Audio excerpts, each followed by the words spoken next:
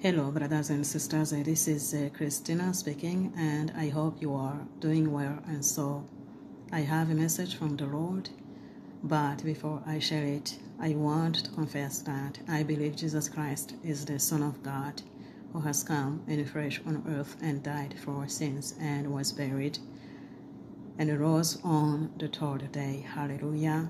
Amen. I am going to share with you a dream I had from the Lord yesterday, which is about the rapture. And also, I will share with you a few scriptures from the Lord with the message for all of us. Yesterday, I had a dream in which I saw a man standing before me. He was screaming and saying, The rapture is happening, the rapture is happening. The rapture is happening. He said that three times. Then I saw the darkness covering the earth. The dream ended. The Lord said that indeed we are in the timing of the rapture and the tribulation, brothers and sisters. He gave me a few scriptures which will help you to understand the timing we are living in. The Lord wants you to read and study these scriptures. Pray and seek Him for discernment, understanding, and confirmation. And so He gave me Matthew 24, Luke 12, Luke 21, Isaiah 60, and pay attention to verse 2, and Psalm 45, which is about the wedding. I am going to read Luke 12 from verse 35 to 40, and this is about the rapture. Let your waist be guarded and your lamps burning and you yourselves be like men who wait for their master when he will return from the wedding, that when he comes and knocks, they may open to him immediately. Blessed are those servants whom the master, when he comes, will find watching.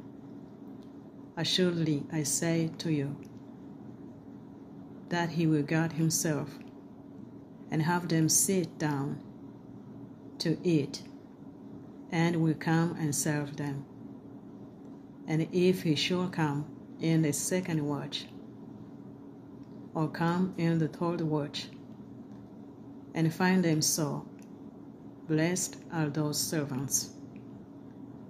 But know this that if the master of the house had known what hour the thief would come, he would have watched and not allowed his house to be broken into. Therefore, you also be ready, for the Son of Man is coming at an hour you do not expect. Luke 21, verse 36. Watch therefore, and pray always, that we might be counted worthy to escape all these things that will come to pass and to stand before the Son of Man.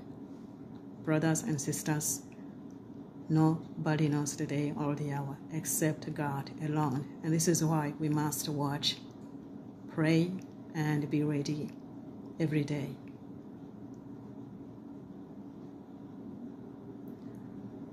You must understand that watching, praying, and being ready every day is not just about the rapture. Consider that you might die today. We are seeing many people dying every day. Understand that if you die without having received and accepted Jesus Christ as your God and Savior, you are not saved. Jesus Christ is the only way to heaven. There's no other way. John 14, verse 6, Jesus says, I am the way, the truth, and the life. No man comes to the Father except through me. Brothers and sisters, please help me to share this message because many souls are not saved. The time is running out. If you have not given your life to the Lord Jesus Christ, turn to Him right now. Receive and accept Him as your God and Savior. Believe in Him and repent all your sins before it is too late. Repentance means go and sin no more. Hebrews 12, verse 14. We must live a holy life and pursue peace with all people. Without doing that, no one will see the Lord God. This is the Word of God, brothers and sisters. Your personal relationship with the Lord Jesus Christ is a must. You alone can make it.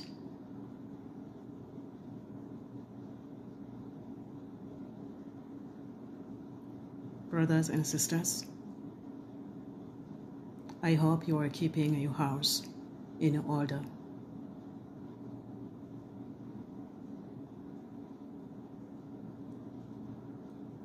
We don't have much time left. Now I'm going to share with you other scriptures with the message from the Lord. And this message is for all of us. We are all the creations of God, and God does not wish anyone to perish. Galatians chapter 3, verse 29, verse 28 and 29. There is neither Jew nor Greek, there is neither slave nor free. There is neither male nor female, for you are all one in Christ Jesus. And if you are Christ's, then you are Abraham's seed and heirs according to the promise. This is a great message for all of us.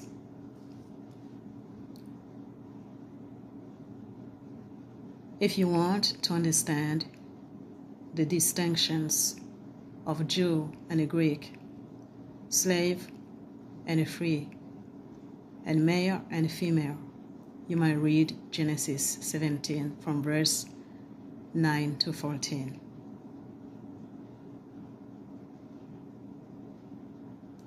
In this scripture, the Apostle Paul announces that the era of such divisions is over.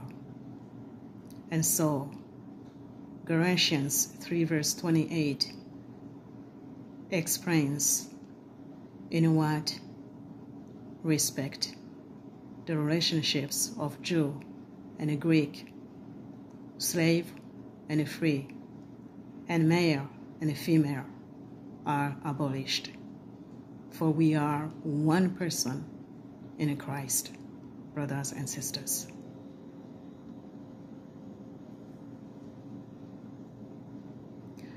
Romans 10, verse 13.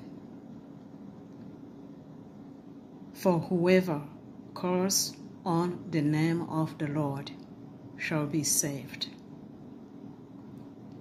Brothers and sisters, the Lord wants you to understand this very important scripture because many don't understand it. And so he wants you to understand the meaning of calling on the name of the Lord to be saved. In order to understand this, he wants you to read Acts chapter 2. In Acts chapter 2, there were about 3,000 saved. You can read verse 41.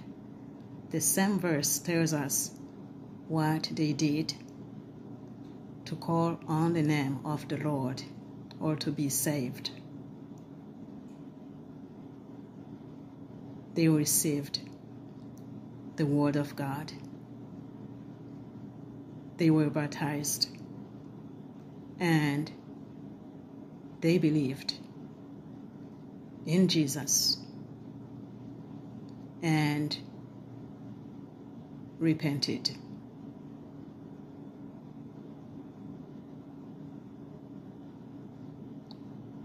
They got baptized for forgiveness of sin. And so you can also read Romans 10 from verse 9 to 10 in order to understand this message, brothers and sisters. And so, Romans 10, verse 13, which says, For whoever calls on the name of the Lord shall be saved, means you receive the Word of God, you believe in Jesus Christ, you repent all your sins and get baptized for forgiveness of sin. And so, calling on the name of the Lord to be saved does not mean just to say it or just to call the name of the Lord. You must receive the Word of God, believe in Jesus Christ, repent all your sins, and get baptized of water and spirit.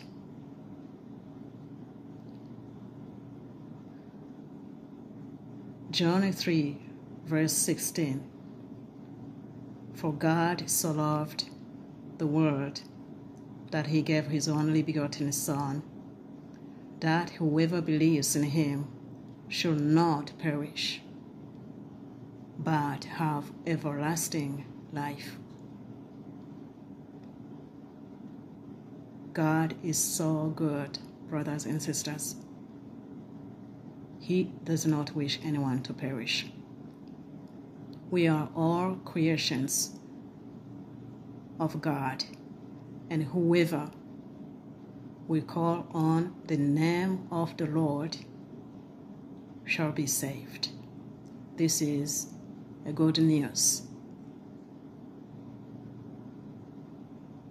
Please share this good news with our brothers and sisters. No matter what you have done,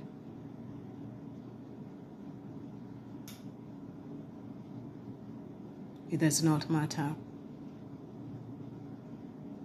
how many sins you have committed against God and your brothers and sisters.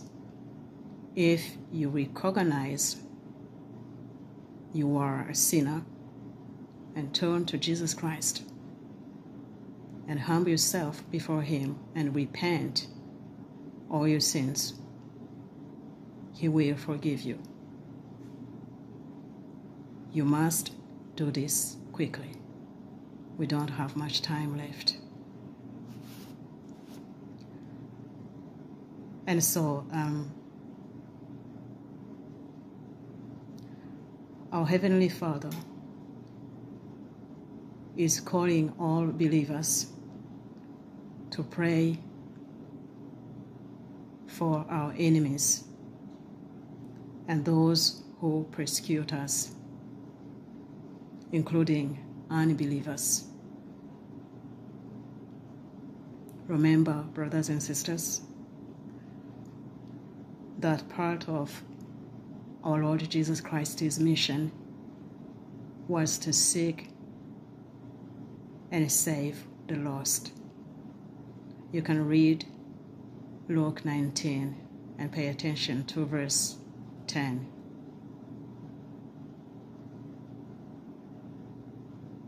When we pray for the salvation of others, we are praying in line with the heart of our Lord Jesus Christ, brothers and sisters.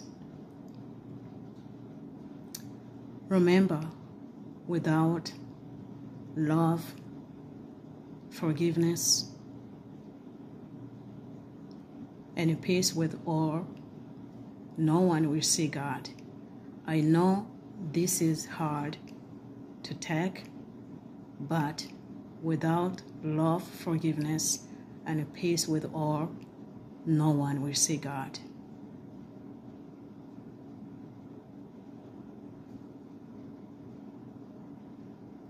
Please love one another, including our enemies. Pray for one another. Time is very short. Let's pray. Heavenly Father, in your Son's name, Jesus Christ, have mercy on us and on the whole world. Amen.